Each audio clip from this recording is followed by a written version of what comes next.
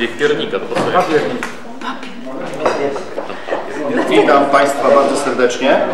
E, Dzisiaj mamy, i to z radością oświadczam, dużą ilość gości, dlatego musimy zmieścić się w jednej godzinie, ponieważ o 14 mamy spotkanie z Red Devilsami. I do, na to spotkanie też Państwa zapraszam, ale zanim rozpocznę konferencję, króciutka, jednominutowa prezentacja. E, Na Państwo widzą, jesteśmy na stronie miasta Chojnice. Ta strona jest przebudowywana w tej chwili, ona będzie miała zupełnie szatę graficzną. Po prawej stronie jest GIF. Wchodzimy w GIF. Mamy po lewej stronie podatki i opłaty. Klik.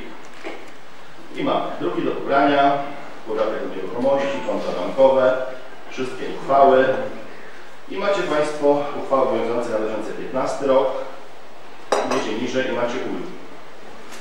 I za 2014 rok są trzy rodzaje ulg. Proponuję kliknąć w pierwszą. Wykaz osób prawnych, fizycznych oraz jednostek organizacyjnych nieposiadających osobowości prawnej, którym umorzono znaczne kwoty zaległości podatkowych, odsetek za zwłokę lub opłaty prolongacyjnej w okresie od stycznia do grudnia tego roku. Klik. I trzeba otworzyć na dole.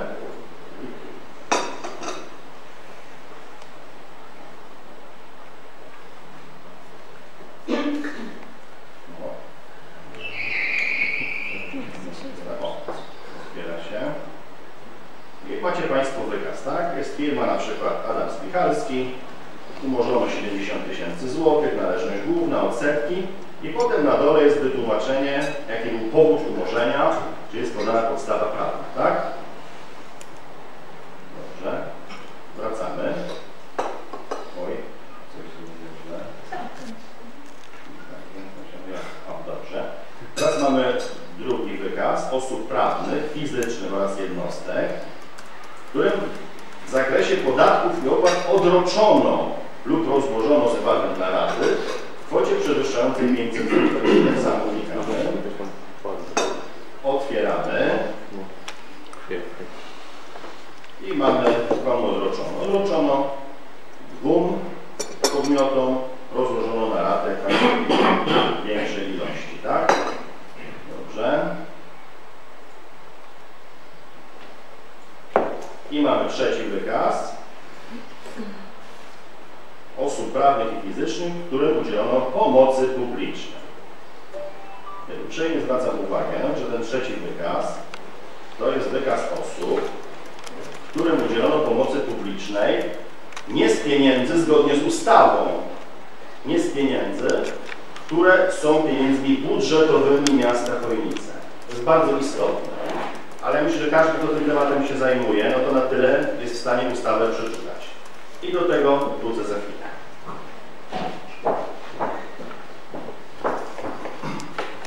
Chciałem pokazać, że to po prostu jest. Żebyśmy... Ale to wcześniej też było. To zawsze było. To było zawsze w Ale internecie. to też jakby nie ma Pani redaktor. Pani zna pytanie, kiedy będzie na to czas. No, Będzie Pani miała taką okazję.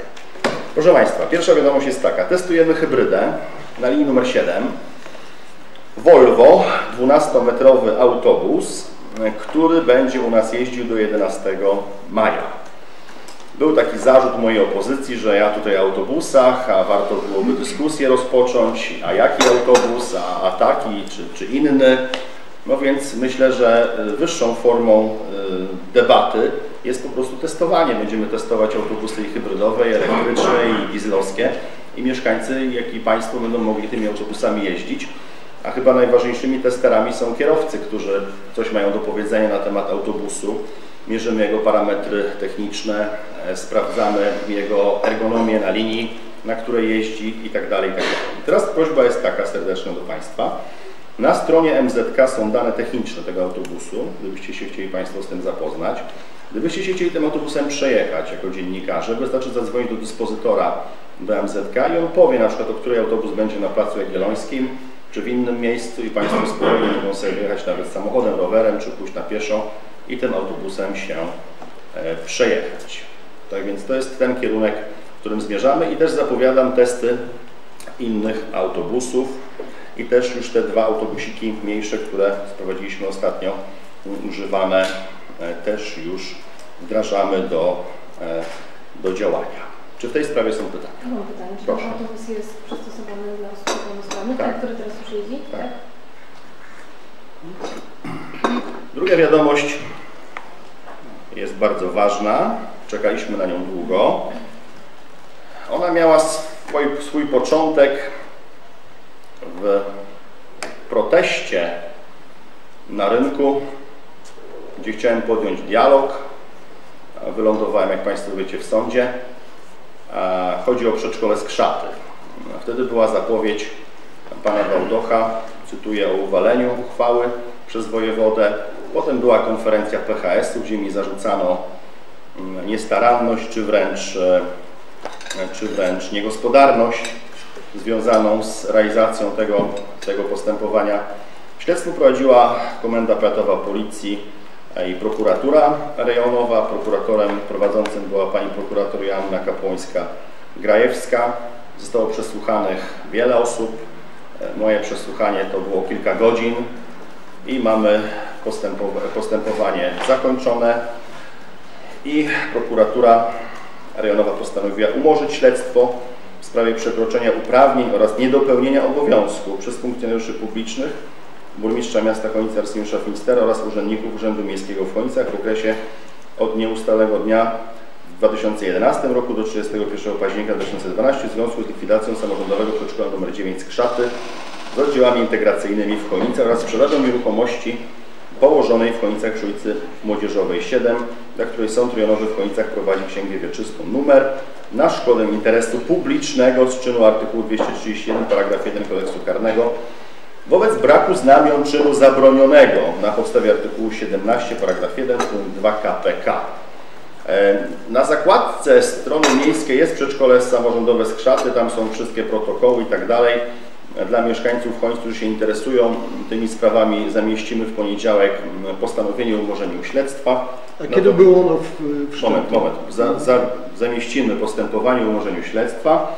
Państwu ten dokument przekazuję i jestem gotów odpowiedzieć na pytania. Proszę bardzo. Kiedy ono było wszczęte? Nie pamiętam. Tutaj wszystko będzie w, w tym postanowieniu. Tak więc zakończyliśmy Tą sprawę. E, Ja proponuję, żebyście Państwo, jeżeli możecie oczywiście, bo w archiwum są konferencje PHS-u, żebyście Państwo odsłuchali Pana Kaczmarka, Pana, e, pana e, Brunkę, co na ten temat mówili. No Myślę, że być może to postanowienie, bo jak Państwo zauważą, stron mm, uzasadnienia jest bardzo dużo, czyli tutaj prokuratora bardzo wnikliwie i bardzo szczegółowo mm, to postępowanie prowadziła. Ja przekazałem wszystkie dokumenty i też bardzo szczegółowe mm, wyjaśnienia związane y, z tymi problemami. Czy są pytania w sprawie skrzatów? Proszę. Kolejna sprawa. Dzisiaj się odbyło spotkanie u Pana Wójta w sprawie rozszerzenia e, specjalnej strefy ekonomicznej. W tym spotkaniu e, ze względu na moje okoliczności prywatne brał udział Pan wiceburmistrz Edward Pietrzyk, który coś o tym spotkaniu Państwu, tak, za chwilę powie. No dyplomatycznie tylko powie, że był, jak Jest. więcej nie może powiedzieć, tak? Jest. Bo tak to, tak to wygląda. Więc proszę Państwa, e, wracam e, jeszcze do spraw moich, e, które też u Państwa przeczytałem w mediach. Otóż chciałbym przypomnieć, że Rada Miejska przyjęła uchwałę o strefie płatnego parkowania, w której są płatne soboty 25 kwietnia. Naczelny Sąd Administracyjny, na którego rozstrzygnięcie powołuje się w swoim wniosku pan Marcin Wałdoch, podjął to rozstrzygnięcie 26 kwietnia. Czyli w momencie, kiedy Rada Miejska podejmowała swoją uchwałę, no nie wiedziała, że następnego dnia Naczelny Sąd Administracyjny podejmie e, takie oto rozstrzygnięcie, że sobota jest dniem wolnym od pracy i nie powinny funkcjonować strefy płatnego parkowania e, w naszym kraju. Naczelny Sąd Administracyjny, czyli trzeba się liczyć bardzo e, z tym rozstrzygnięciem. To jest pra prawdziwa rewolucja, bo ja sądziłem, że żyjemy w kraju, w którym mamy 5 dni roboczych, na pewno jest wolna, wolna niedziela, ale w sobotę jakoś tak tutaj w strefie mm, śródmiejskiej pracują sklepy, ludzie chodzą do pracy, pracują wyższe uczelnie. E, No, no wiele firm pracuje też w sobotę, no i też ni niestety niektórzy pracują w niedzielę. Jest takie rozstrzygnięcie. E, Mój Wydział Prawny Urzędu Miejskiego zwrócił się do Pana Wojewody, do jego służb prawnych z informacją, że takie oto rozstrzygnięcie Naczelnego Sądu Administracyjnego jest. I Pan Wojewoda, badając podjętą przez Radę Miejską uchwałę 25 kwietnia z rozstrzygnięciem NSA z 26 kwietnia, będzie badał i postanawiał, czy te soboty płatne mają tam pozostać, czy nie. Jeżeli chodzi o sytuację w kraju, to ona jest y, y, też bardzo skomplikowana, bo są miasta, które mają soboty bezpłatne, ale są, jest też duża grupa miast, nie umiem powiedzieć ile, no miast jest ponad 900 y, gmin miejskich w Polsce. Nie chcę strzelać, ale myślę, że co najmniej 300 ma płatne soboty w strefie płatnego parkowania, tak więc myślę, że to jest taka ciekawa, ciekawe rozstrzygnięcie Naczelnego Sądu Administracyjnego, które mm, powoduje dość dużą, e, dużą rewolucję. E, Jak ona się odbije? Mm, Ona ma, ona ma trzy obszary, jak gdyby, do których możemy, to możemy analizować. A dla tych, którzy przyjadą do strefy centrum i zaparkują za darmo, to dobrze. I chciałbym, żeby tak było, jeżeli wojewoda nam uchyli te płatne soboty na podstawie NSA. Bardzo pragnę tego, życzę sobie jako burmistrz i mieszkaniec tego miasta, żeby każdy, kto przyjedzie do sklepu, mógł zaparkować tak, jak płatną sobotę, nie płacąc tej złotówki. Natomiast zobaczą Państwo, że jeżeli soboty nie będą płatne, to będzie paraliż. E, Jeżeli chodzi o parkowanie, trzeba będzie zrewidować swoje przyzwyczajenia i rotacji przy Rezlerze czy przy innych sklepach tutaj w centrum nie będzie. Na szczęście mamy w Chonicach duże parkingi typu Plac Jagielloński, e, Plac Emsdepen czy, czy też Stadion Choniczanów. Tak więc nie ma tutaj żadnej wielkiej sprawy, wojewoda o tym wie, my powiadomiliśmy. Gdyby nawet służby prawne pana wojewody nie zauważyły tego problemu, to pan wojewoda o tym rozstrzygnięciu NSA wie od nas. Czy są pytania? Wiadomo, jaka to byłaby kwota do budżetu No, em, miasta w skali Trudno roku. mi powiedzieć, natomiast e, sądzę, że sądzę, że jeżeli mamy sześciodniowy mm, e, tydzień, kiedy pobieramy opłaty, w sobotę pobieraliśmy tylko do godziny 13, ale w sobotę przed południem był największy rotacyjny ruch, no więc sądzę, że więcej tracimy niż jedną szóstą. Tak. Są takie wyliczenia, bo radni dostali. Prawdopodobnie to wydaje mi się, że 24 tysiące były w skali roku za, za soboty. Myślę, że więcej. Myślę, że więcej, ponieważ my ze strefy płatnego parkowania pobieramy chyba kilkaset tysięcy złotych. Nie, nie chcę się tutaj konfrontować, ale sądzę, że to będzie no, około kilkudziesięciu tysięcy na pewno. Ale to nie chodzi o tą stratę, tak? Bo dla miasta te pieniądze nie są tak istotne, jak to, żeby była rotacja, żeby strefa działała. Natomiast no przecież ja nie mogę yy, tylko, znaczy mogę tylko poprosić mieszkańców strefy śródmiejskiej, żeby wzięli swoje samochody, żeby inni mieszkańcy przyjechali, zrobili zakupy w strefie centrum, jeżeli nie będzie strefy płatnego parkowania. Przypominam Państwu, że kupcy są do Waszej dyspozycji. No idźcie, zapytajcie ich tutaj, co oni sądzą o braku biletowania w sobotę, braku rotacji. To już bez sensu w tej chwili, żebym ja robił mm, jakieś zebranie z kupcami, czy, czy ankietę, czy, czy referendum, to nie ma najmniejszego sensu. Sąd podjął takie rozstrzygnięcie. E, Z, z takimi rozstrzygnięciami się nie dyskutuje, bo one są, tak? Szanujemy prawo. Natomiast jest to bardzo dyskusyjne rozstrzygnięcie.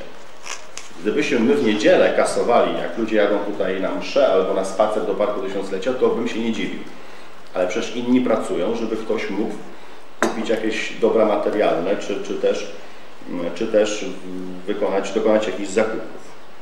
Sprawa jest otwarta, ale ważna jest ta informacja, którą przesyłam i będę powtarzał. My podejmowaliśmy uchwałę 25, rozstrzygnięcie NSA 26, dzień po nas. Nie wiedzieliśmy o tym do końca. I wracam do tematu pierwszego, a zanim do niego wrócę, to chciałbym powiedzieć Państwu, że w przyszłym tygodniu będziemy pracować nad e, poprawą bazy lokalowej MOPS-u. E, Wybieram tam się z również radnymi. Jeżeli Państwo będą chcieli, a myślę, że taka okoliczność będzie y, konieczna, to chyba zaproszę Was do zwiedzania MOPS-u w piątek na konferencji prasowej E, i będziemy starali się też rozstrzygnąć temat, gdzie będziemy dywersyfikować mm, Chomickie Centrum Kultury. Ja nie chcę czekać aż do 23 kwietnia, kiedy to mm, będzie, będą oferty przetargowe. Musimy ten plan realizować już szybciej. Chciałem Państwu powiedzieć z radością 23 maja, ponieważ będą oferty składane. W tej chwili prowadzimy dialog aż z 11 firmami z całej Polski, które są zainteresowane budową mm, Chojnickiego Centrum e, Kultury. I wracam do... Chojnickie też? Proszę? Chojnickie firmy. Jest takie konsorcjum, powstało w Chojnicach, które pyta. Mm, No, życzę powodzenia, będę trzymał kciuki, no ale jest ym, kwestia oczywiście ceny. O wszystkim decyduje cena, bo gwarancja, uwarunkowania techniczne, doświadczenie zawodowe jest określone jako wstępny wariant, tak? Natomiast reszta to już jest tylko i wyłącznie cena. Rozstrzygnęliśmy przetarg na mm, inspektora nadzoru. Wyniki tego przetargu to jest kwota bodajże 80 kilka tysięcy złotych. E, Wyniki tego przetargu są u pana dyrektora Jacka Domozycha. I proszę Państwa, wracam do tematu pierwotnego. Przepraszam, można jeszcze do tego Proszę. tematu? Proszę. Jakie są pomysły, jeśli chodzi o HCK? Coś się zmieniło? Są jakieś nowe lokalizacje? Nie, są, moim zdaniem są tylko dwie. E, Na początek będę wizytował gimnazjum numer jeden w kontekście przestrzeni, które tam mamy, ale muszę pamiętać o tym, że za chwilę rozpoczniemy tam inwestycję budowy dwóch wind i chcemy tam też montować przedszkole, które nie wytrzymuje próby czasu i, i, i, i, i możliwości też przy- w szkole podstawowej numer 3 i to jest panem prezydentem Kołyszko rozmawialiśmy o tym, żeby w przypadku braku rozbudowy szkoły numer 3 przenosić to przedszkole jako filialne szkoły numer 3, bo nikt tego przedszkola szkoły numer 3 nie chce zabierać, to ma być przedszkole szkoły numer 3, ale funkcjonowałoby w budynku gimnazjum numer 1. I Jako, ja widzę dwa miejsca dyslokacji e, Chońskiego Centrum Kultury. Pierwsze to jest gimnazjum numer 1 i drugie to jest budynek frontowy szpitala. E, Tutaj oczywiście y, przede wszystkim to wysyłam e, do pana Kaczmarka. Nikt nie będzie kupował drożej niż sprzedał. To są wszystko bańki mydlane. Miasto nie jest zainteresowane zakupem tego obiektu, a byłoby zainteresowane tylko i wyłącznie w jednej konstelacji, która pękła, e, czyli w konstelacji gmina, powiat, miasto. Natomiast jest zainteresowane miasto wynajmem, tam, wynajmem, tak, nie, nie, nie zakupem, tylko wynajmem pomieszczeń. Jest zainteresowane starostwo w kontekście Muzeum Historyczno-Etnograficznego i panią dyrektor dzisiaj gościmy, będzie mówiła o innej konferencji, zupełnie inny temat. I wracam do, proszę Państwa, e, tego, co pokazywałem. E, Artykuł 37 dotyczy upublicznienia niektórych danych dotyczących samorządowej gospodarki finansowej. I tutaj wszystko jest napisane. Wszystko jest napisane. Dlaczego ja o tym mówię? Nie mówię w kontekście ataku, ale uważam, że nie możemy przekazywać informacji w taki sposób. Próżno było znaleźć informację o wysokości pomocy publicznej i czego konkretnie dotyczyła na przykład umorzenia podatku czy odroczenia płatności. No więc właśnie umorzenie podatku i odroczenia płatności są enumeratywnie wyszczególnione. Enumeratywnie wyszczególnione. A ja cytuję Zachowice 24. Próżno byłoby szukać, czy dotyczy umorzenia podatku, czy odroczenia płatności. No przecież w tych tabelkach jest wszystko. To są właśnie odroczenia i umorzenia. Natomiast ta trzecia tabelka, która nie dotyczy budżetu miasta, to to są pieniądze budżetu państwa, które za pośrednictwem budżetu miasta są przekazywane w trybie pomocy publicznej. I to jest refundacja uczniów. Refundacja uczniów. Każdy, kto analizuje te dokumenty i przeczyta artykuł 37 ustawy, będzie wiedział, że wszystkie umorzenia, odroczenia, rozłożenia na raty są podane w dwóch pierwszych blokach, a to trzecie musi być refundacją pracy ucznia lub pieniędzmi budżetowymi Skarbu Państwa przekazanymi za pośrednictwem gminy. Bardzo proszę, żeby e, przekazywać tę informację mieszkańcom, bo przecież ja nie, nie czynię tego, żeby atakować, tylko chodzi mi o to, bo być może Pani redaktor nie wiedziała tego, bo jednak napisała, że tego nie ma, nie ma tutaj e, widać. Poza tym chciałbym się nie zgodzić z tym, że opozycja domaga się wygaszenia mandatu pana radnego Janowskiemu, panu radnemu Janowskiemu za działalność na mieniu gminnym, dokładnie z Ergiemu, co jest niezgodne z prawem. A skąd wiemy, że jest niezgodne z prawem? Jeszcze nikt tego nie rozstrzygnął. Więc prosiłbym, żebyśmy nie ferowali wyroków. Nawet jeżeli biuro prawne pana wojewody zechce wygasić mandat pana Janowskiego, bo tak się też może zdarzyć, to jeszcze jest postępowanie sądowe. Nie wiemy, jak się biuro prawne pana wojewody zachowa. Takie czynności są w tej chwili prowadzone. Czy są do mnie pytania? A kiedy będzie wykaz za 2015 rok? A, widzi Pani. A czytała Pani ustawę? Artykuł 3, czekałem na to pytanie. Artykuł 3, ja już się świetnie rozumiemy, telepatycznie. Artykuł 38 ustawy o finansach publicznych mówi, że do 31 maja danego roku publikujemy za zeszły rok. To wszystko jest tu na niej napisane. Ja Państwu służę takimi informacjami e, nie tylko na konferencjach prasowych, nie chciałbym wszystkim czasu zajmować i przepraszam, jeżeli kogoś dotknąłem, że poruszyłem styk bardzo newralgiczny pomiędzy portalem Konice 24 a mną. Dobrze, to ja dziękuję. Zapraszam. e, Tak, nasi goście ze szkoły podstawowej numer 3. Teraz ja w tej panice zapomniałem nazw i chcę się Państwu przedstawić, dobrze? Zapraszam.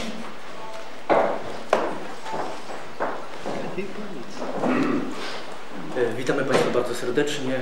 Ja nazywam się Piotr Skorupski, jestem nauczycielem historii. Jest razem ze mną koleżanka Joanna Kurowska, która jest nauczycielem języka angielskiego. Reprezentujemy szkołę podstawową numer 3. Numer 3. Y, Nasza obecność dzisiaj jest związana z faktem, że rozpoczynamy nowy projekt w naszej szkole w związku z współpracą na linii Urząd Miasta Chojnice, Uniwersytet Kazimierza Wielkiego w Bydgoszczy E, będziemy gościli w naszej szkole studentów. Oczywiście obecność studentów nie jest niczym nadzwyczajnym w szkołach, bowiem rok rocznie swoje praktyki planowe studenckie odbywają, ale wyjątkowe, ciekawe będzie to, że będą to studenci z Turcji. Będą to studenci Turcji, będą to cztery osoby, cztery osoby pod opieką profesora Piotra Kostyło, który był inicjatorem tej współpracy, o której wspomniałem. I cóż, e, wspólnie z panem dyrektorem e, Karolem Kołyszką doszliśmy do wniosku, że jest to świetna okazja na to, żeby zapoznać uczniów, zwłaszcza tych najstarszych, z historią, kulturą Turcji w bardzo podstawowym zakresie. W tym celu będą przeprowadzone zajęcia edukacyjne. E, No właśnie, i dlaczego? Chcemy po prostu, żeby uczniowie mieli pełną świadomość tego, kogo będziemy, kogo będziemy gościli. W związku z tym, że będą to studenci pedagogiki, będziemy chcieli zaprezentować, jak funkcjonuje polska szkoła na podstawie naszej miejskiej chojnickiej trójki. Mamy, nie będziemy mieć wiele, wiele czasu. Studentom tureckim będziemy chcieli zaprezentować nasze, y, zaprezentować wyz- wyzwania i nasze doświadczenia przede wszystkim w pracy z dziećmi ze specyficznymi trudnościami w czytaniu i pisaniu, czyli dyslekcją rozwojową.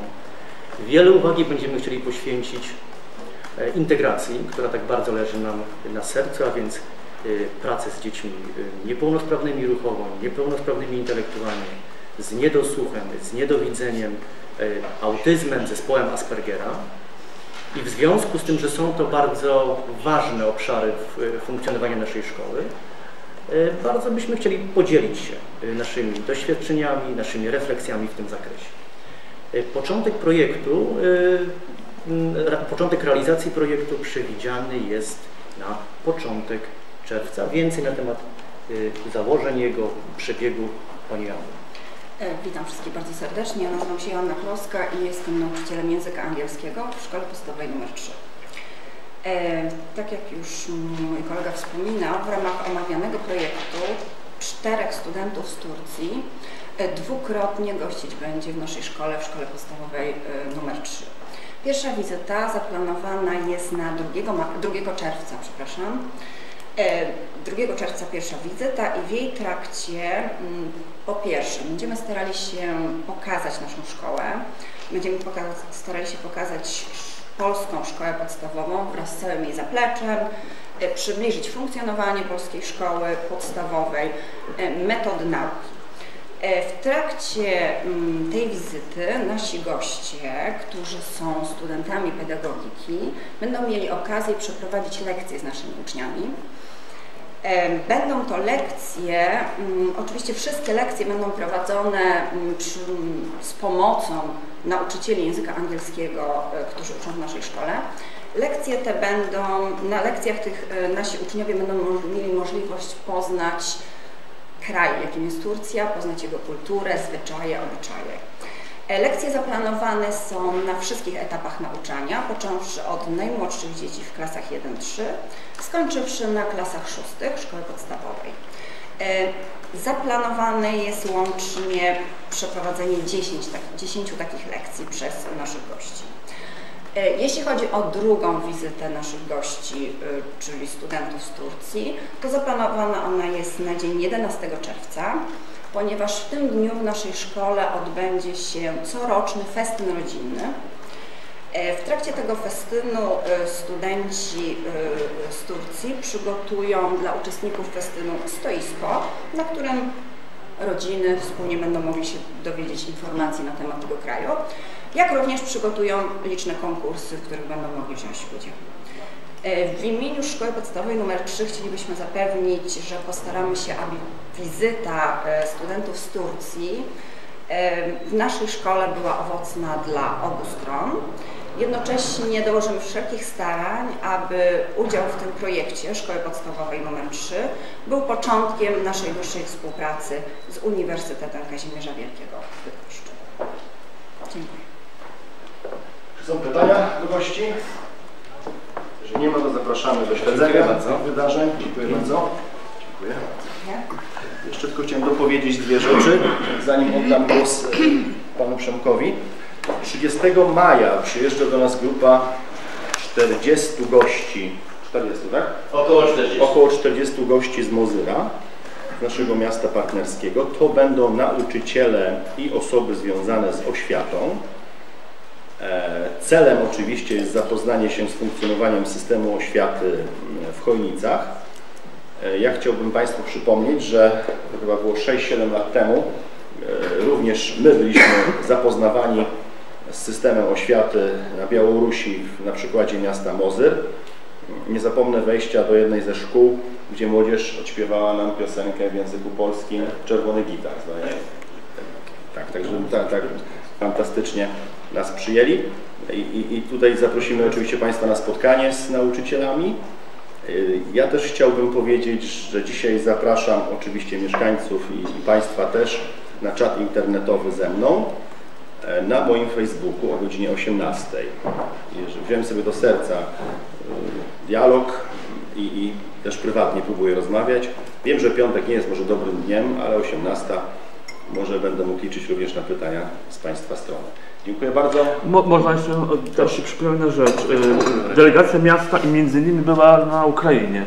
Jakie tam były, że tak Wszystko mamy w planie. Za chwilę Pan burmistrz pierwszy czeka w A, już myślałem, że Dobrze. Teraz tematy. Tak, dobrze. E, Proszę Państwa, nowy pomysł, autorski pomysł Pana doktora Przemka Ziemkowskiego, co chciałbym podkreślić. W mojej ocenie bardzo ciekawy i bardzo dobry, ponieważ chcemy przenieść naukę i dokonania nauki w przestrzeń publiczną, a tą przestrzenią ma być Park Tysiąclecia. I, I w mojej ocenie, mam nadzieję, że w Państwa również, jest to bardzo ciekawa koncepcja, którą chcielibyśmy w najbliższym czasie zrealizować. Proszę bardzo. Dzień dobry Państwu. E, Szanowni Państwo, e, być może nie jest to autorska e, koncepcja, dlatego że taki podobny park, który chcielibyśmy zrobić w zachodniej części parku docelowo, taka była idea. Widziałem kiedyś w Stagirze, tam gdzie urodził się Arystoteles, park imienia Arystotelesa. W związku z tym pomyślałem sobie, dlaczego by czegoś takiego nie zrobić w Chojnicach i największą trudność pewnie sprawiło mi, znaczy największą trudność, e, jedyne nazwisko, które przypominałem się, kogo można by e, za patrona takiego parku objąć, to był park e, imienia Johana Titiusa. Można proszę kolejny slajd. E, Dlaczego Titiusa? E, A no powiem Państwu z trzech powodów. Pan Johann Daniel Titius urodził się w Chojnicach w roku 29, zmarł w Wittenberdze w roku 1796. Czyli obchodzimy w tym roku 220-letnią 220-lecie e, śmierci tego wybitnego uczonego. Pomorski, może niemiecki, ale pomorski astronom, fizyk, biolog, e, również filozof, tłumacz e, dzieła Montaigne'a na przykład, e, które do roku 1998 było uznane za najlepsze tłumaczenie na język niemiecki w historii.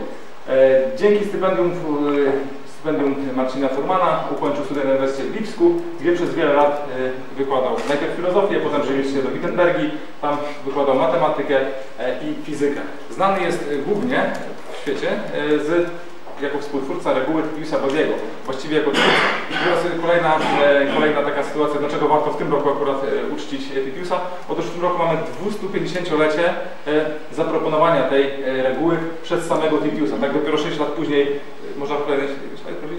Dopiero e, 6 lat później e, pan Johann Body e, rozpowszechnił tą, e, rozpowszechnił tą regułę, więc e, twórcą właściwie był e, nasz chojniczanin, nasz rodak Johann Daniel Titius. Reguła, która mówi o jakiejś tam arytmetycznej zależności e, obliczania odległości między planetami. To jest odkrycie na miarę Kopernika. Świat już uznał e, mm, naszego, naszego krajana, y, pana e, Titiusa, uznając, e, nadając imię e, jego nazwiska asteroidzie w 1998 roku oraz krater na e, Księżycu również nosi nazwę e, Titiusa, o czym pewnie nie każdy wie. E, Jeżeli chodzi o e, nasz park, e, krótka e, informacja, e, jak by to miało wyglądać. Proszę o filmik, jeżeli można. Empiryczne doświadczenia, w jaki sposób e, dzieją się różne doświadczenia fizyczne. Tak będzie wyglądało urządzenie stacjonarne, korbka. No, nie działa? Niemożliwe. No, Państwo się domyślacie, jak się gąbką kręci, to powstaje. No to powstaje firma. Oczywi oczywiście informacja e, na tablicy, co można zrobić, co można zrobić, e, dlaczego tak się dzieje oraz ciekawostki, między innymi można, nie wiem, e, Archimedesa, jego turbinę wodną e, przypomnieć, tak? No i, i, i takie informacje. Następnym, e, następnym urządzeniem, które chciałem zaproponować to jest kalejdoskop. Trzy zwierciadła, e, kiedy osoba wejdzie do środka, to jest kalejdoskop nieskończoności, bo odbicia mienią się nieskończoną ilość razy. Proszę dalej. Urządzenia generujące e, złudzenia optyczne, ruchome tarcze na słupach, które powodują oszukiwanie naszego wzroku. Kilka takich urządzeń można z powodzeniem w parku zamontować. Proszę kolejny slajd. Kompas słoneczny, być może w naszej szerokości geograficznej e, i w naszych czasach już niekoniecznie potrzebny, ale myślę, że doskonałe e, urządzenie do nauki geografii, fizyki oraz historii, tak? Że taki kompas używa, takiego kompasu używali wikingowie. Proszę bardzo. Dalej. Kołyska Newtona, o tu działa. Kołyska Newtona, proszę Państwa, e, przyrząd, który obrazuje prawo zachowania e, energii. E, tak wygląda to akurat w Stagirze w parku, e, w którym którego to zaczerpnąłem. Następny slajd, proszę. E, zwykły szkolny wiatromierz, który również po, e, może pomóc uczniom zrozumieć zasadę mierzenia prędkości wiatru i, kolejny slajd, poproszę. Soczewka, e, soczewka skupiająca. Przy okazji można informację o spinozie, tak, który takie soczewki szlifował. Oczywiście tak zamontowano na takiej wysokości, by w żaden sposób nie można było wywołać pożaru, ale żeby nauczyciel fizyki mógł tłumaczyć w jaki sposób taka soczewka działa i co robi. Poproszę kolejny slajd. Nie, tuba akustyczna. Myślę, że to będzie najciekawsze e, urządzenie, które można będzie e, w naszym parku e, zamontować. Każdy kończanin chociaż przez chwilę będzie mógł się poczuć jak lew ryczący. Także To się przyda. każdy będzie miał możliwość wykrzyżenia, co mu, co mu duszy gra albo co mu leży na wątrobie. Poproszę kolejny slajd. A i tutaj proszę Państwa, jako to jest park edukacji, ale też park rozrywki. Bardzo mi zależało, żeby ten filmik tutaj zadziałał. Nie działa. E, Helikopter heli- Helikopter Leonardo da Vinci, proszę Państwa, e, który przy odpowiednich proporcjach e, tego śmigła służy po prostu jako karuzela, ale według prototypu zbudowanego, zaproponowanego przez samego Leonardo da Vinci i takie urządzenie również chcielibyśmy zamontować. I ostatnim urządzeniem, które jest myślę niezwykle istotne w kontekście naszego Titiusa, proszę na kolejnym slajdzie. Jak się uda. Jak się nie uda, proszę Państwa, powiem, że chcielibyśmy, chcielibyśmy zamontować lunetę bądź jakiś e, teleskop, dzięki któremu konieczanie będą mogły, mogli w pogodne wieczory letnie lub zimowe podziwiać gwiazdy, ewentualnie szukać na Księżycu tego kratera, który nosi imię Titiusa, a kto wie, być może będzie to zaczątek e, faktu, że być może kiedyś na e, Górce Piaskowej, być może kiedyś na Górce Piaskowej powstanie jakieś mini obserwatorium astronomiczne, kto wie. Gdzie to ma być? Gdzie to ma być konkretnie? E, znaczy według mojego zamysłu chciałem by to było w zachodniej części parku, czyli e, na przykład vis-a-vis powiedzmy skate parku albo ewentualnie e, tego placu zabaw. Natomiast e, wczoraj jest, jestem po rozmowie e, z panem e, ogrodnikiem miejskim, z panem też dyrektorem e, Jackiem Domozychem. E, miejsc jest już kilka przynajmniej, gdzie to zamontować i w jaki sposób zamontować, także jesteśmy na etapie konsultacji. Ale one będą skoncentrowane raczej, tak? E, Czy, czy jak to ma być? Chcielibyśmy, żeby były, żeby były skonserwowane, choć oczywiście, tak jak Pani tutaj sugeruje, mogą to być na przykład wzdłuż tej alei astronomicznej w parku rozmieszczone. Co ciekawe, tą inicjatywą już obdarzyłem kilka innych osób i jest chęć partycypowania samorządów w ramach swoich budżetów osiedlowych, czyli samorząd e, Pana Brunki czy Pana Gościowskiego, tak, to przewodnictwo kilku osób. Dlaczego? Jedynka nie sięga do Ale jest fajne wejście do parku od strony prochowej, być może gdyby to był w tamtym miejscu. Nam zależy na współpracy z Panem. Ja go przekonam. Znaczy, nam zależy na atrakcyjnym miejscu dla Chojnicza i myślę, że e, to będzie jedno z takich miejsc. Dziękuję Państwu. ale jak rozumiem, y, nie ma to dążyć też do tego, żeby park zmienił imię z tysiąclecia na Titiusa. Na Titiusa? E, nie, nie, nie. Myślę, że park Titiusa wystarczy, byśmy uhonorowali. Będziemy starać się o ulicę. Szacowany koszt? e, Szacowany koszt? Około 100-130 tysięcy. A kiedy to miałoby powstać? E, a, widzę Państwo, to chciałem jeszcze zadać bardzo ważną informację. E, trzy wydarzenia, bowiem e, 250-lecie wymyślenia... Może tutaj. Szanowni Państwo, trzy wydarzenia związane z Titiusem, które mamy. To jest 250-lecie wymyślenia e, zaproponowania przez niego reguły Titiusa Bodego, e, 220-lecie jego śmierci oraz jest jeszcze 250-lecie wydania przez niego książki, którą napisał na 300-lecie e, na, na 300-lecie e, mm, inkorporacji Chojnic do Polski, tak? kiedy, kiedy e, Prusy oddały, e, e, oddały Chojnice i zostały Chojnice przyłączone do Polski. On po 300 latach, ceniąc Chojnice, napisał książkę o tym właśnie wydarzeniu. Tą książkę mamy już przetłumaczoną, ona jest teraz poddana krytycznej e, obróbce, krytycznej recenzji, e, redakcji e, i ukaże się prawdopodobnie e, w grudniu. W międzyczasie na Dni Chojnic e, kolejny projekt Titiusa, z tego, że trzy wydarzenia to jest dla nas rok Titiusa. A możemy wolniej? Tak jest, oczywiście, przepraszam. To tak emocjonuje, wie Pani, jak ja o tym mówię, że to jest niesamowite. Na dniach Chojnic. Na Dniach Chojnic chcielibyśmy opu- zrobić promocję kolejnej książki, również Titiusa, czyli o sławnych Chojniczanach, którzy wywodzą się, z, o, o sławnych naukowcach, którzy wywodzą się e, z Chojnic. To dzieło, które napisał na podstawie Getkiego, mamy również przetłumaczone, tłumaczyła Pani e, dr Ewa Drzazgowska. E, Jeżeli nic nie stanie na przeszkodzie, to promocja odbędzie się w ramach Dni Chojnic. Także mówię, trzy, trzy, trzy wydarzenia i trzy e, z naszej strony wyjścia strony Tisa, czyli jedna książka, druga książka i w międzyczasie park, który chcemy e, uruchomić. Jeżeli się uda, to pod koniec września. Czy są pytania? Nie ma, dziękuję. Panie Dziękuję bardzo. Zapraszamy.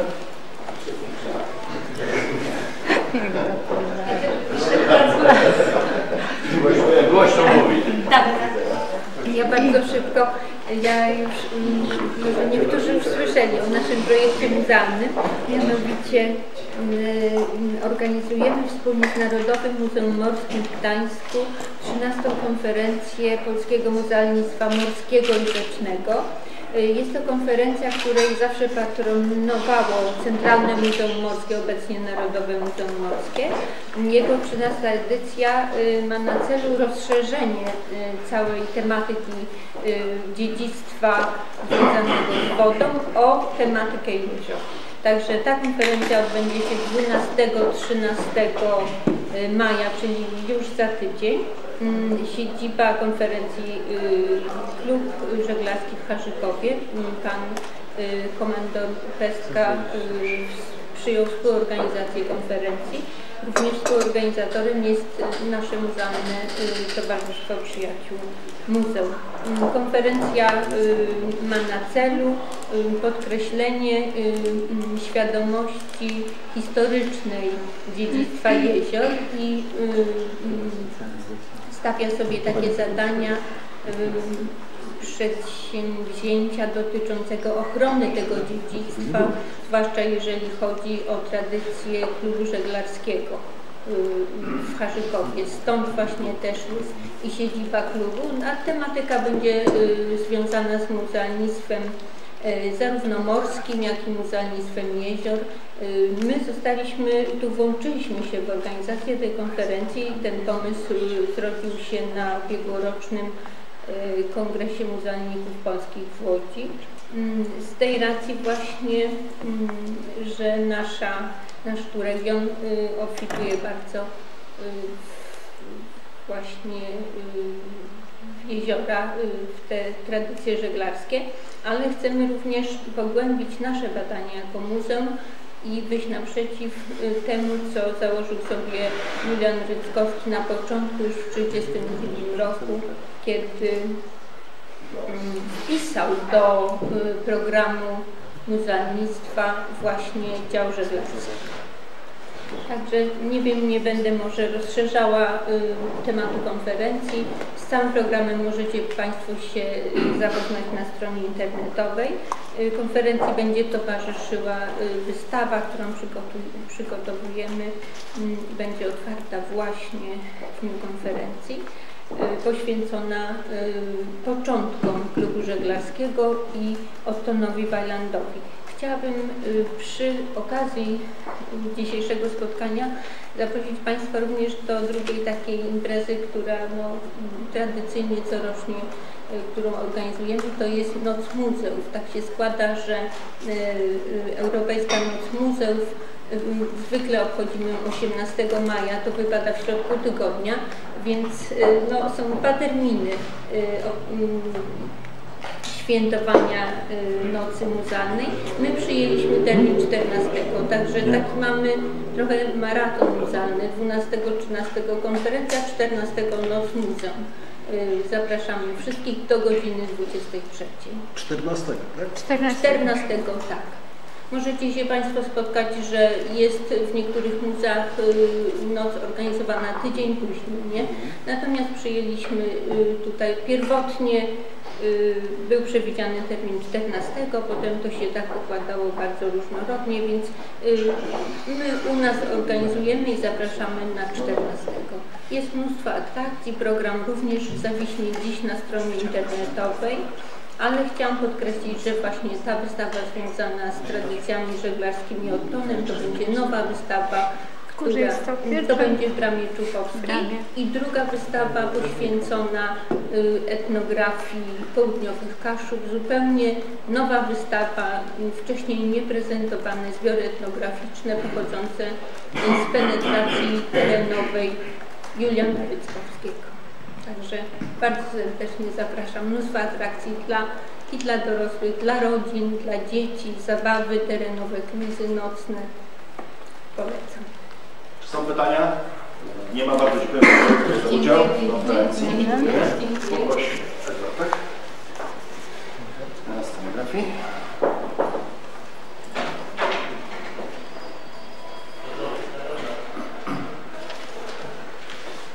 Mistrzowie Polski. Ministranci.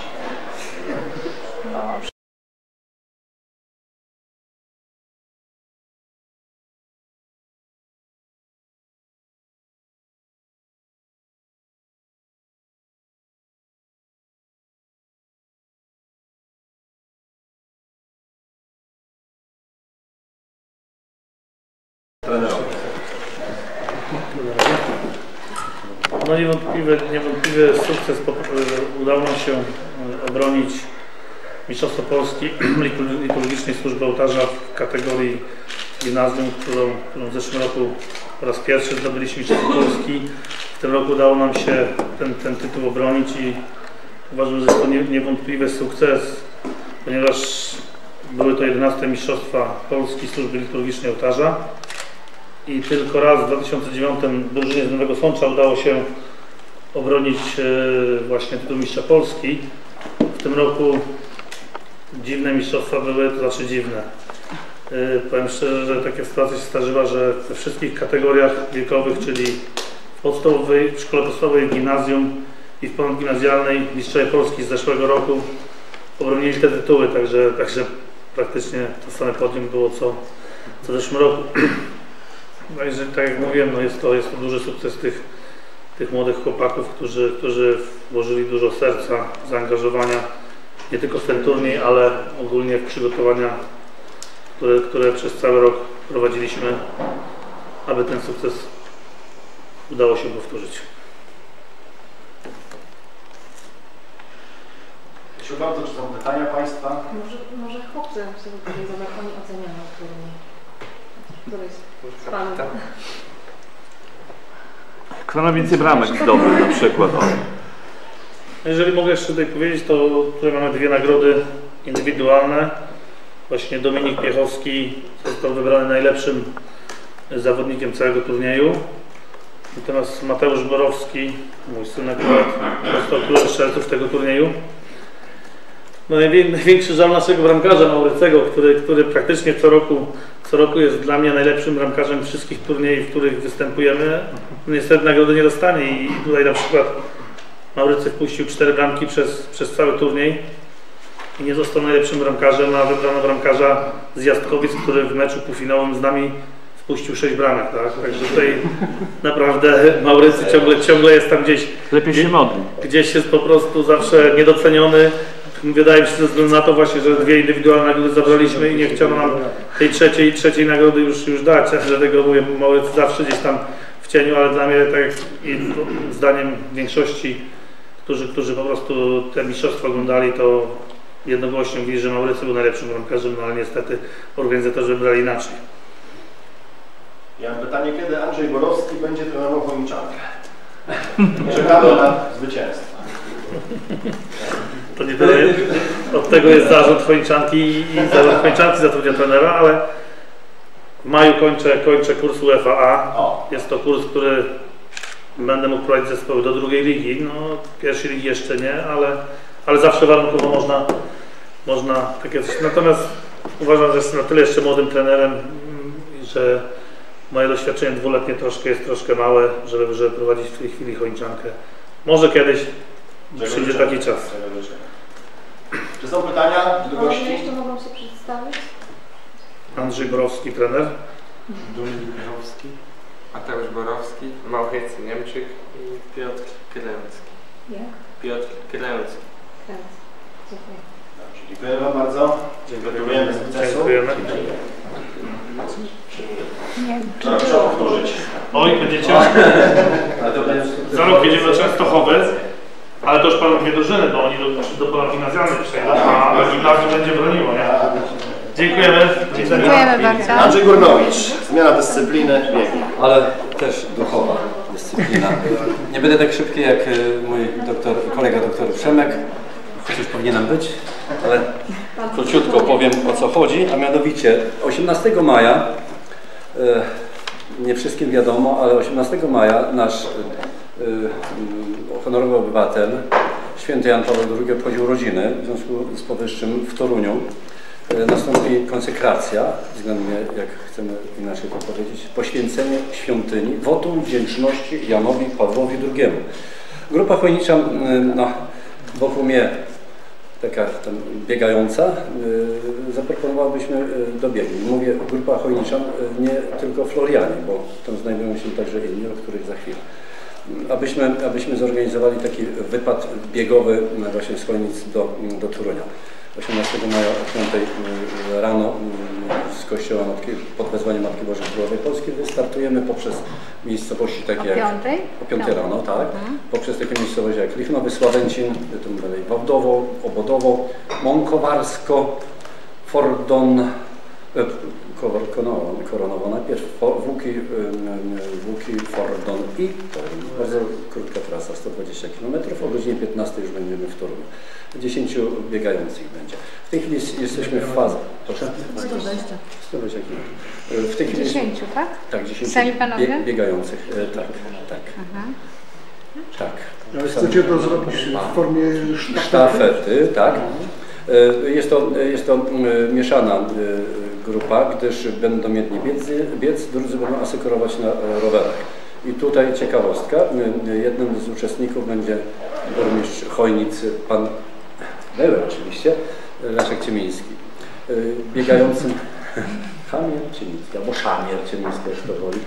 E, tak jest, będzie, będzie uczestniczył bardzo chętnie po, po krótkim zastanowieniu będzie uczestniczył, a biegający będzie innymi Piotr Niciejewski. Jesteśmy w tej chwili w fazie uzgodnień. Wojewoda Pomorski już wyraził zgodę, wojewoda kujawsko-pomorskim jest w trakcie uzgodnień ulic przez miejscowości Fordon i Koronowo. A, a, tak to będzie nasze to wyglądało. No to potem wdzięczności Janowi Pawłowi drugiemu. Proszę zobaczcie, jak to ładnie wygląda. Pielgrzymka biegowa, Chojnice Toru. Także jest to taka sympatyczna. Oczywiście będziemy się przebierać gdzieś tam, czyli w autobusie. I dlatego tutaj nie wskazane są kobiety. Pytanie Pani było na początku. No niestety no, będziemy się musimy przebrać w jakiś sposób co jakiś tam czas. W związku z tym y, jednopłciowy będzie. Jak, A czy y, jeszcze mogą nawet dołączyć? Proszę? Czy jeszcze mogą dołączyć, jestem w fazie organizowania grupy. Jeszcze, jeszcze dwie, trzy osoby mogą do biegu być. Y, pragnę podziękować bardzo Panu Burmistrzowi za inicjatywę i wywołanie uchwały dotyczącej zasłużonego obywatela Chojnic, pana Wiśniewskiego. Jestem bardzo wzruszony i bardzo mi miło, że już tak daleko jest ten posunięty proces. Jak to proces? proces nie beatyfikacji, tylko uhonorowania naszego Nestora Zbyszka Wiśniewskiego, 80-letniego chojniczanina urodzonego w Tucholi, co prawda, ale, ale Nestora Biegów, który jest znany w całej Polsce. Najbliższa sesja Rady Miejskiej. Dziękuję uprzejmie za wszystko dobre. Dziękuję Tą informację dopełnię. Najbliższa sesja Rady Miejskiej odbędzie się 13 czerwca. A nie maja? Nie. A czemu 13 nie maja? czerwca, ponieważ e, już tłumaczę. 23 widzenia. maja otwieramy oferty na Chojnickie Centrum Kultury. Chcemy te oferty dokładnie przejrzeć i mieć pewność, wchodząc na sesję, że dokonaliśmy wyboru określonej oferty. Oczywiście zakładam, że zmieścimy się w kwocie, którą przeznaczyliśmy na modernizację i przebudowę Chojnickiego Centrum Kultury. Gdybyśmy się nie zmieścili, to komisja ma czas, żeby ewentualnie doprocedować tą kwestię. To będzie bardzo trudna sesja i chyba najdłuższa, bo to będzie sesja absolutoryjna, połączona z sesją gospodarczą, e, też kilka innych tematów bardzo ciekawych. E, Mamy 6 minut. E, Pan burmistrz Pietrzyk był w Warszawie w PLK z Tomaszem Kamińskim. Opowie o tym.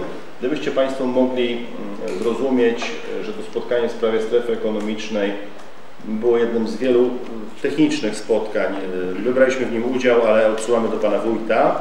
I potem jeszcze Irmina też dwie krótkie informacje i zapraszam do sali obrad Rady Miejskiej. Dziękuję bardzo. Tak, proszę Państwa, istotnie w dniu wczorajszym z dyrektorem Kamińskim gościliśmy Biurze Planowania Strategicznego PKP, Polskie Linie Kolejowe. Yy, Temat rozmowy jeden określony, mianowicie w trakcie w tej chwili prac nad przygotowaniem y, studium i nad przygotowaniem programu funkcjonalno-użytkowego węzła integracyjnego pojawiły się kwoty przypisane PLK, które to kwoty będą zaangażowane w projekt. Y, Już pierwsze, pierwsze takie bardzo ogólne próby podejścia do kosztorysowania wskazywały, że mm, udział, jaki wstępnie PLK zadeklarowała, może okazać się niewystarczający. W związku z tym y, w dniu wczorajszym o tym rozmawialiśmy z dyrektorem mm, wydziału. Osoba bardzo merytoryczna, pan dyrektor y, Maciej Kaczorek i uznał nasze, uznał nasze racje jak najbardziej. On też jest za tym, że jeżeli robi się cokolwiek, to robi się od A do Z i żeby to było zrobione już na bardzo wysokim poziomie. E, oczywiście nie od niego zależy decyzja. Decyzja jest, e, że tak powiem, w ministerstwie. Niemniej pan dyrektor zadeklarował swoje poparcie i już w dniu wczorajszym e, udał się do ministerstwa, ażeby próbować tą kwotę zwiększyć. Ja e, nie chcę mówić w tej chwili o wysokości tych kwot. Wstępnie w tej chwili Udział PLK jest zadeklarowany na poziomie 10 milionów 300 tysięcy netto, netto, z tym, że jest to razem z pieniędzmi unijnymi. Razem z pieniędzmi unijnymi. Potrzeba znacznie więcej. Dwa razy tyle? E, Nie, nie. I proszę Państwa, Ukraina. Ja mam tylko dwie minuty, wobec tego ja sy- za- zasygnalizuję tylko e, punkty, punkty, które były w programie pobytu e, delegacji mieszanej starostwa i miasta w mieście Korsu.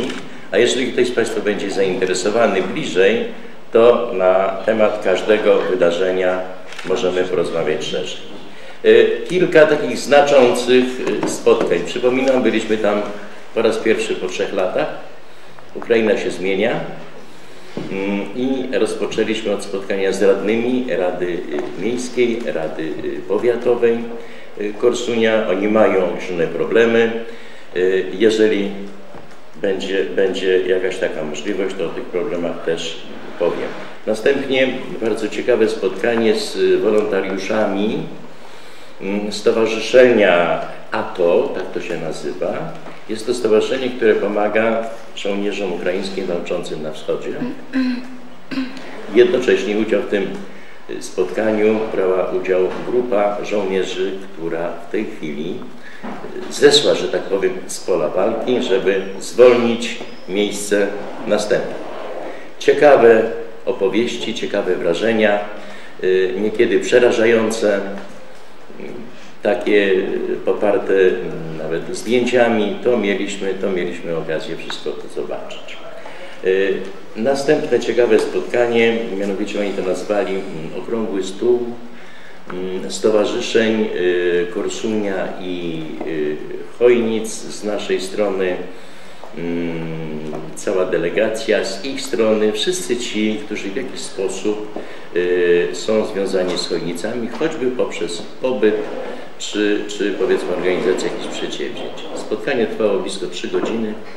Y, Pojawiło się masę różnych ciekawych pomysłów.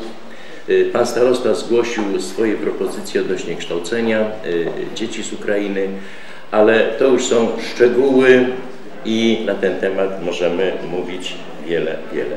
Y, Czy jako ciekawostkę dodam, że odwiedziłem naszego zacnego honorowego obywatela miasta Chojnice, mego przyjaciela Michała Wołkowa. No powiem szczerze, wyszedłem stamtąd przybity. Wołkow jest bardzo chory. Niedostatek pieniędzy, wszystkiego, wszystkiego. Jak mogliśmy, ratowaliśmy go prywatnie.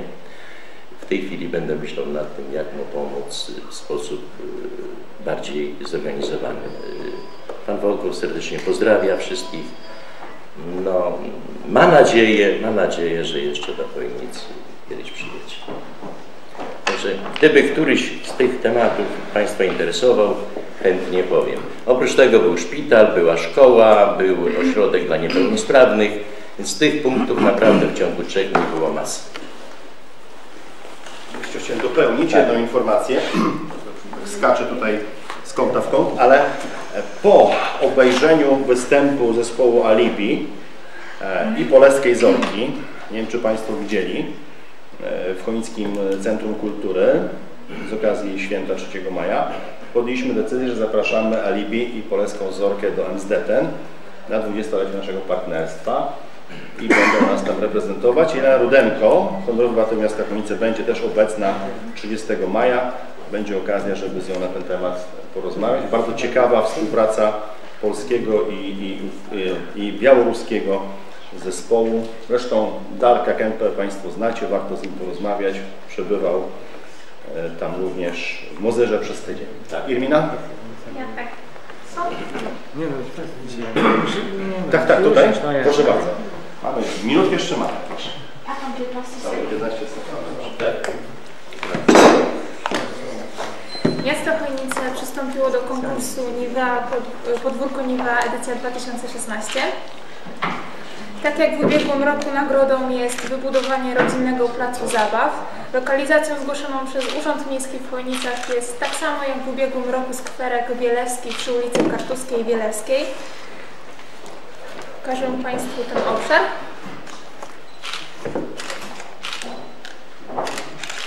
Tak wygląda i byśmy chcieli, gdyby nam się udało wygrać, yy, to by w tym miejscu miało powstać to podwórko. Ale co zrobić, żeby wygrać? Potrzebne są głosy internautów. Można głosować codziennie jeden raz na stronie www.niwa.pl ukośnik podwórko 2016. Gorąco zachęcamy do udziału, bo pierwszy etap trwa od wczoraj, od 5 maja do 2 czerwca i w tym etapie zostanie wybranych 20 lokalizacji z największą ilością głosów, a drugi etap potrwa od 3 czerwca do 30, no ostatniego czerwca i może nam się uda. Drugą króciutką informacją jest y, ta, iż otrzymaliśmy podziękowanie za udział w godzinie dla Ziemi, która się odbyła 19 marca. I mam dla Państwa informację na. Zdążyliśmy w jednej godzinie. Zapraszamy do sali obrad Rady Miejskiej. Dzięki. Zostało. Wczoraj.